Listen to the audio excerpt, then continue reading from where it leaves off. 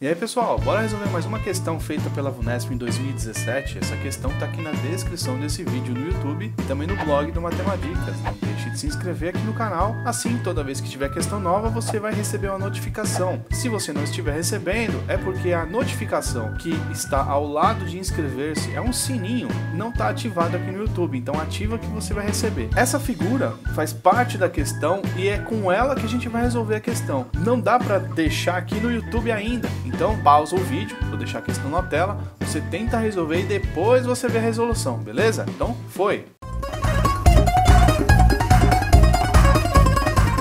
E aí, conseguiu resolver essa questão? Ela é uma questão que é totalmente visual, a gente não faz nenhuma conta. Então vamos resolver em cima desse gráfico aqui. Inclusive ele está fora de escala porque não adianta a gente medir o tamanho dessas retas aqui e falar que tem mais, tem menos, é só no visual mesmo. Vamos ler o enunciado para resolver. O gráfico mostra a oscilação dos lucros obtidos com as vendas dos produtos A e B no decorrer de alguns meses. Então vamos ver aqui, vamos dar uma analisada no gráfico que é importante. Então, ó, no nosso nesse eixo aqui que está em pé, que geralmente é o Y, ele tem 7 mil, 4 mil, e aqui entre 4 mil e 7 mil tem os valores intermediários, não sei quanto que é. Aqui, abril, maio, junho, julho e agosto são os meses, então estão aumentando os meses e aumentando os lucros, ou seja, quanto mais para cima, maior lucro, quanto mais para baixo, menor lucro, quanto mais para frente, mais meses vão passar ao longo desse ano. Beleza, a gente não sabe o que foi perguntado. Outra coisa aqui, ó, presta atenção nas linhas, ó, essa linha pontilhada, eu deixei tudo em preto, que é assim que vai ser apresentado na sua prova. A linha tracejada aqui, ó, mais grossa, é o B, é o produto B.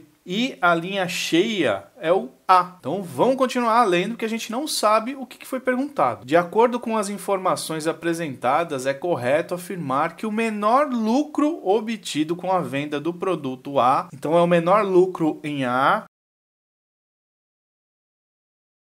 e o maior lucro obtido com a venda do produto B ocorreram respectivamente nos meses de. É só dar uma olhada nesse gráfico aqui. Então a gente quer o menor lucro do produto A. Então vamos ver o produto A. O produto A é a linha cheia. Onde ele teve o, men o menor lucro, né? Menor lucro. Ó, aqui tem um valor em abril, aí ele desceu em maio, aí ele subiu em junho, desceu em julho e subiu em agosto. Ou seja, nesses dois pontos aqui tá bem baixo. Esse também, né? Também tá baixo. Mas o menor deles é em maio. Então o menor lucro do produto A é em maio. Em valores a gente não sabe, mas foi em maio.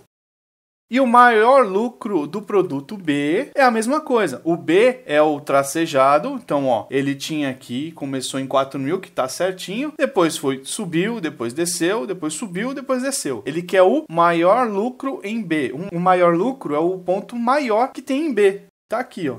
Em julho.